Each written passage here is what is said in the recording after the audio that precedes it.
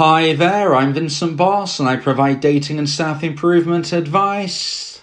And in today's podcast, we're going to be discussing how to have a healthy relationship with social media. I provide audio coaching for breakup recovery, trying to get an ex back, attracting someone new, and life coaching. Visit www.dateme.tips for more details. Please check your spam and junk folders if you are expecting an email from me. So now let's get back into today's podcast. And today we are discussing how to have a healthy relationship with social media. Using social media can have many benefits, but just as many downsides. In today's podcast, we will discuss how to have a healthy relationship with social media, both from the perspective of using the apps, but also within a romantic relationship. So let's get straight into this. And point number one is reduce use within a relationship. So if you use social media a lot and then get into a new romantic relationship, I would suggest that you spend less time on social media. I would suggest that you reduce the amount of time you are using these apps. And this is for a couple of main reasons. The first of which, you need to be putting your energy into your new romantic relationship. And for every minute, and let alone every hour, that you spend on social media, you could be putting that time into building your connection. Now, depending on how you use social media, will dictate into what degree I suggest you reduce using it. If you use social media for your work, for instance, then of course you are going to have to continue using social media apps to get on with your work life and your business. However, I'm actually talking about personal use within social media. The time you are using when you don't have to use it. If you don't have to be on an app, but you decide to go on an app, that is what I'm talking about reducing. Personally, I believe that social media apps are best used for single people anyway. Social media is an opportunity to get to know new people as well as maintaining connections that you have within the virtual world. If you're single, then you are likely to have more time to forge new connections online, to speak about things with different people, to keep connections alive that you have with people you know in real life, but perhaps you now live further apart and you talk online via these apps. But I would say that once you get into a new romantic relationship, you can still maintain those friendships that you have from afar via messaging apps. You can use those apps, but I'm talking about reducing the amount of time that you spend on the threads, on the comments, on the statuses, all of those types of things. You don't need to be focusing additional time speaking to people you don't really know on these applications. When you've got a new relationship and you want to be putting your energy, your mind, body, and soul into this. Additionally, this can cause your relationship difficulties. If you're spending time speaking to different people about different things, there can be misunderstandings sometimes. And this isn't me saying that you can't do your own thing because I definitely believe that two people need to remain individuals within a romantic relationship. However, if you are commenting on lots of people's statuses that you don't know, and maybe your partner thinks, for instance, that you're flirting, maybe you are, maybe you aren't, these are the types of things that you don't need to be getting involved with. You don't need the drama, you don't need the stress. You also don't need people, again, people that you don't really know very well, causing you problems by misconstruing something that you want to say, something you want to get across, and ultimately causing you problems that you don't need in your life. Lots of people on social media post photos and videos of themselves. Again, I would suggest that this is a single person's game. If you're single and you're trying to promote yourself, because ultimately social media is in essence PR, you know, you're trying to promote yourself in the best possible way, and that is best done when you're single, where you can potentially meet somebody new. Even if you're not using it as a dating app per se, it can definitely be used in that regard. Once you have a new relationship, once you are spending time with your new partner, You don't need to be updating your social media apps with every single new photo you take of yourself and of your family. If you've got together with somebody new and you take a photo of you both and put it online, you might want to check if they're okay with this. Maybe they are, but perhaps they aren't. You need to respect people's privacy. So I would say, in essence, if you get into a new romantic relationship, you should be reducing the time you are using social media for personal reasons. I don't believe it's a good use of your time when you have a new partner. Again, this isn't about your work life, this is about personal social media usage and reducing the amount of time. You don't have to remove yourself completely from these apps, but I'm just saying reduce the time that you spend on them. So now let's get into point number two and the second point of today's podcast about how to have a healthy relationship with social media. And point number two is social media is biased.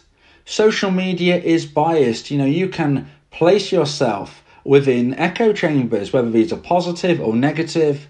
You can hear the voices that you want to hear and not the voices that you don't. And you might think to yourself, well, that's a good idea because I only want to hear people who have an opinion similar to myself. That's all well and good some of the time, but if you do it consistently and constantly, that is where sometimes you can get lost, okay? Because social media is biased. Social media shows you what other people want you to see. Now, you can use this to your own advantage. If you want to come across as the best version of yourself, you can promote yourself successfully on social media by posting photos of you looking your best, your healthiest, doing activities which show you to be ambitious, energized, and living life. You know, these types of things show you love life, they show that you are a positive person. There is nothing wrong with promoting yourself positively on social media as long as you aren't doing it in a way which is fake as long as what you are promoting is accurate, then absolutely showcase your best self. But remember that everybody else is doing the same. Therefore, social media is biased. They show you what they want you to see, and you can show them what you want them to see. Now, as I said earlier, if you are in a romantic relationship, I don't suggest you do this too much at all anyway. But let's just say you're single. Maybe you've just come out of a relationship and you're now single. Maybe you've gone through a breakup and you want to try to get your ex back. In this instance, you absolutely want to be promoting yourself in the best way. Only post photos where you look your best. Don't post a photo where you don't look that great. Now, I'm not saying use filters, I'm just saying, but if you post a photo, make sure you are happy with what is seen. Sometimes people post every single photo they have of themselves and they're not necessarily that flattering. That isn't being fake, it's just about being selective with what you're showcasing because everybody else is doing the same. That's why it's so important not to get trapped in the cycle of trying to judge yourself against other people online, but it's not necessarily real. I'm telling you not to use filters because I don't believe it's helpful or ethical, but that doesn't mean other people aren't using filters. That doesn't mean other people aren't photoshopping their pics. You've got to understand what you see isn't necessarily real, and certainly, even if it is real, it is selective. Use this to your advantage. Make sure that you are selective but truthful with what you post. If you want to put something online, make sure you're putting something which is worthwhile and genuine. Don't put online things that you might regret in the future. Don't have arguments. Don't post when you're not feeling great. If you're feeling angry, frustrated, or bitter, you need time out. Posting sad song lyrics online is not going to help you in trying to seem an attractive person. If you want to try to get your ex back, if you want to try to attract somebody new, then coming across as negative and upset is not going to help you. If you feel negative and upset, speak with your friends and family. Go and see a local doctor. Speak to real people. Don't post this stuff online. And if you're about to put something online and you know deep down that this might not be a great idea, pause, think about it. Turn off your phone, your laptop, your computer. Don't post it. Think about before you upload. Whatever you type, whatever you send, whatever you post, you need to be doing this with a stable mind. If you don't feel stable minded, do not post on social media. Social media is biased, use it to your advantage, but make sure you remember that other people are using it to their advantage. So be wary with what you see and definitely don't judge yourself against what you see online. So now let's get into point number three and the final point of today's podcast about how to have a healthy relationship with social media. And point number three is don't confuse fantasy with reality. So, just before we delve into point number three, I just want to say that if you would like life coaching support, then you may want to consider my audio coaching service where me and you can speak one on one about your specific situation. Maybe it is regarding dating and relationships, potentially a breakup.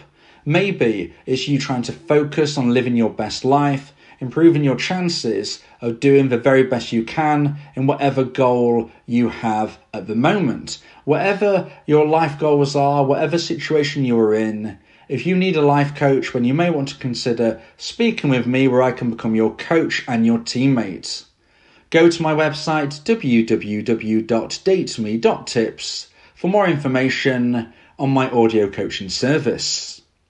So, point number three is don't confuse fantasy with reality.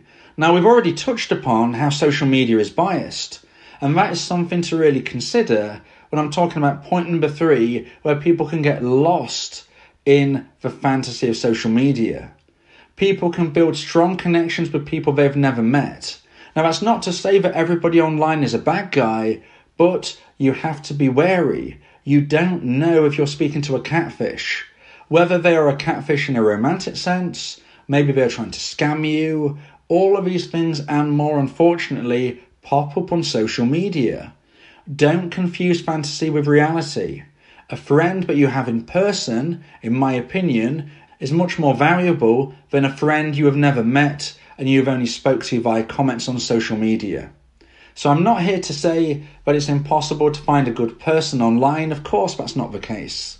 However, if you believe that your main friends are people that you have not only never met, but never actually physically seen or heard in any way, shape, or form, and you're only having conversations online via text, via comments, I would be very, very wary with slipping into that fantasy. The reality of life is so much more important, and therefore I suggest you get out into the world, joining new classes, groups, and clubs to make new connections and more real life friendships. Along with this, of course, is the potential possibility of meeting a new romantic partner. And even though online dating is a fantastic way to meet new people, when you're online dating, you are going to be aiming to meet that person ASAP. You know, you have a few conversations, yes, but within a week or two of chatting, if you're getting on, you need to be arranging to meet. It's not ideal to speak to somebody that you never hear, see on video call, let alone see in real life. It's not ideal to be doing that for months and months and months. You need that feeling of reality. So if you're online dating, I would suggest that within a couple of weeks, you should be aiming to meet somebody in a safe public setting so you can really figure out whether they match the person you're talking to, making sure they're not a catfish. Now remember that friendships can be just as big a catfish as romantic relationships. And therefore, if your friendship group is purely online, you've never met them, you only speak in comments, please consider trying to build a real life friendship group where you know who you are talking to are real. Social media can be great for so many things. You can promote yourself, you can showcase your best self, you can find a romantic option, you can get a job, you can make friends, you can discuss your favorite hobbies and interests. It's all great when it is safe and when it is true. But you have to recognize that fantasy sometimes is not reality, making sure that you don't get confused between the two. If you're online, if you're on social media, please be wary of people you have never met in real life. If you know somebody in real life and you speak to them online, that's absolutely fine. Spend as much of your time in the real world as possible. If you believe that this podcast has helped you, then please consider buying me a coffee. The link to do so is in the description.